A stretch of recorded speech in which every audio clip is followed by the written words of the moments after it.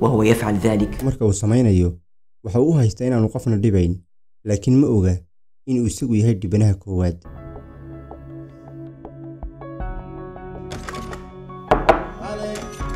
Ma oga inuu ku sii hoobanayo waddada qabatinka. Qabatinkan la mid ma aha noocyada kale bilwadda. Maxaa yeele waxaa laga heli karaa meel walba iyo wakhti walba si dhib la'aan ah. Sidoo kale isagoo reebaya raad aan laga masixi karin maskaxda ama maanka dadka la qabsaday balwaddan arrintani waa arrin si weyn u faaftay laakiin ma jirto cod ka hadlaysa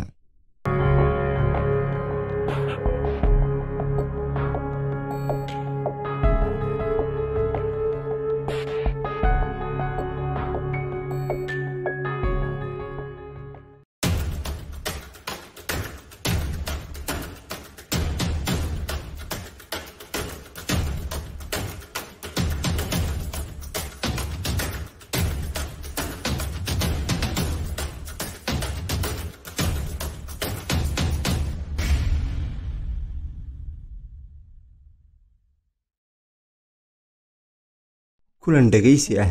Oo ay golaha gurtada maraykanku la yeesheen doctor mary ann layden oo cilmibaadho ka ah rugta dhaqancelinta nafsiyadeed ee jaamacadda pennsylvania ayay ku sheegtay in la qabsiga filmaanta galmada ahi ay halista ugu weyn ku yihiin caafimaadka nafsadeed ee qofka oo ay xitaa ka daran yihiin qabatinka maandooriyaha loo yaqaan kokaayiinta. Waxaa mudan in la isweydiiyo maxay qabatinka filmada galmadu uga halisaysan yihiin qabatinka maandooriyaha kokaayiinta?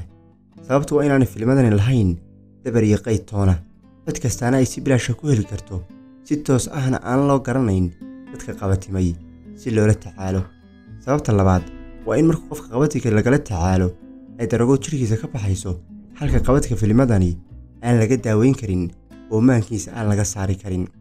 Daawashada filmada galmadu waxay qofka u diidaan fursadihuu ku noqon lahaa nooca qofeed ee uu doonayey waxayna ka hor istaagaan wax walba uu qofkan u qaban lahaa qoyskiisa bulshadiisa iyo waddankiisaba waxa ay filmada galmadahay noqdeen hannaan asaasi ah oo lagu gudbinayo laguna faafinayo habka galmada loo sameeyo ee waddannadeenna iyadoo aanay jirin qorshacad oo lagu faafinayo dhaqanka galmada ee saxda ah taas oo keentay inay bulshadeenna dhex qaaddo aqoon galmeed ku salaysan faham khaldan oo leexsan.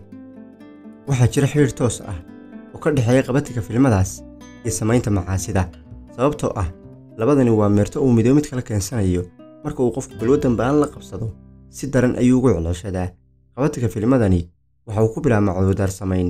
Uu qofku wuxuun marmarsiya uga dhiganayo sida inuu isku qanciyo inuu ismaamuli karo inuu yaro daallan yahay oo xooga nafisa u baahan yahay iyo in aanu cudna dhibayn ee isagu rabitaankiisa ku daawanayo.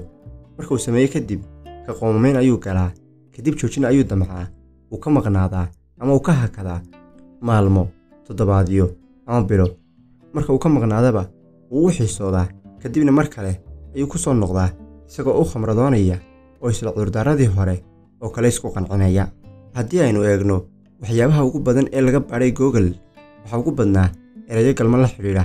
Boqol iyo lix iyo toban kun oo baadhitaan ayay sameeyeen carruurta iyo korayadu maalin kasta ilbidhiqsi kasta. Mareegaha galmada waxaa baadha soddon kun oo qof. Soddonkii daqiiqaba waxaa la duubaa. Muuqaal galmo ah gudaha maraykanka keliya ayaa iska leh boqolkiiba siddeetan iyo sagaal mareegaha galmada laga soo geliyey internetka.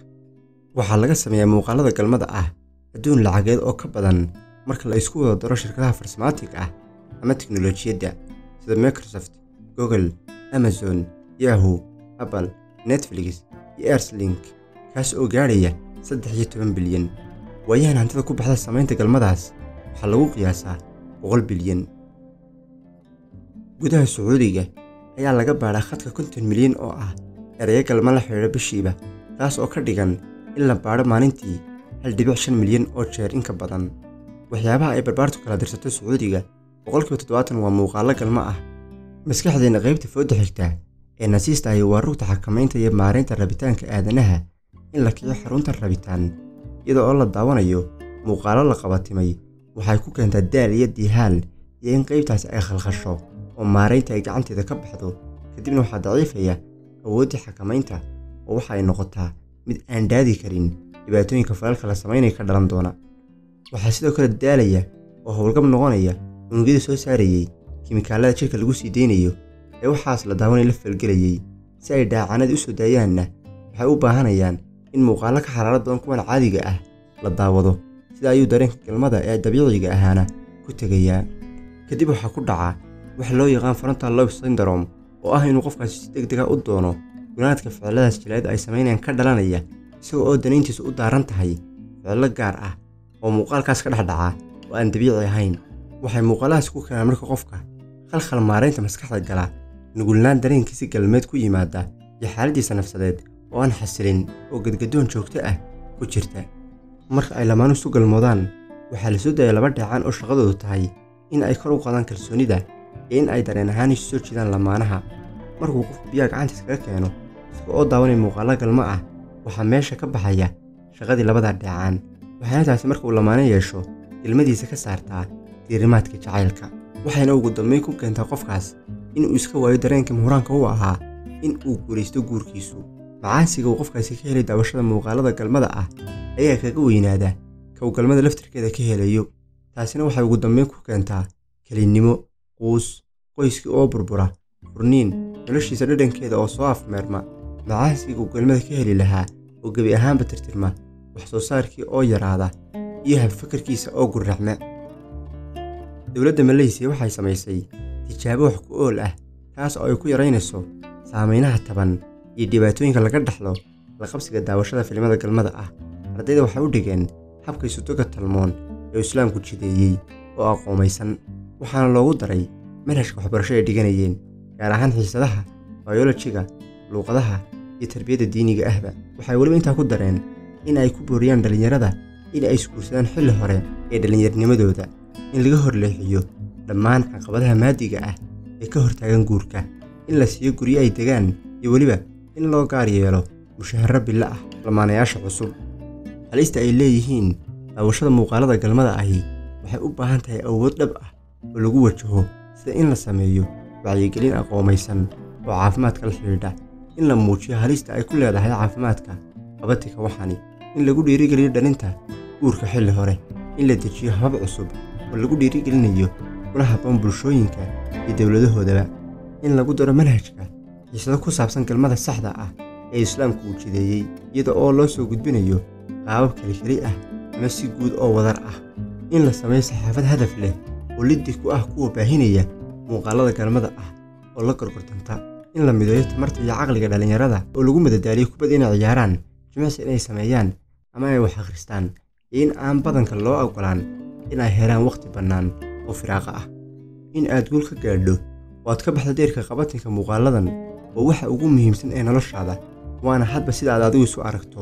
Waa inaad isu aragtaa inaad tahay aadamo guulaysan kara oo xor ah halkii aad isu arki lahayd qof liita daciif ah guul darraystay oo addoon u ah doonista iyo shahwada naftiisa. Kadibna qabatimay anshaxdarradaas oo quus taagan. Waa in naftani ay aamintaa in ay guulaysan karto oo ay iilkan ka soo bixi karto. Guusha dhabta ahi waa inay marka hore ka timaada gudaha naftaada.